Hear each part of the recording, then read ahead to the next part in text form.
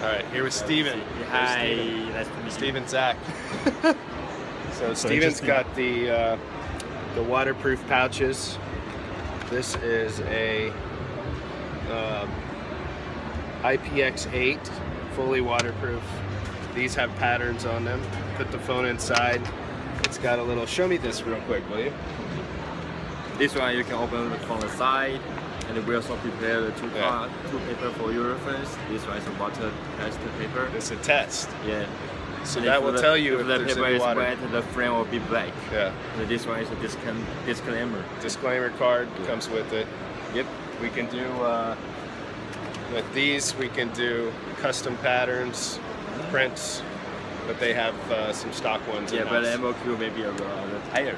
Okay. Yeah. And where's your factory, Steven? Taiwan. In Taiwan. All right.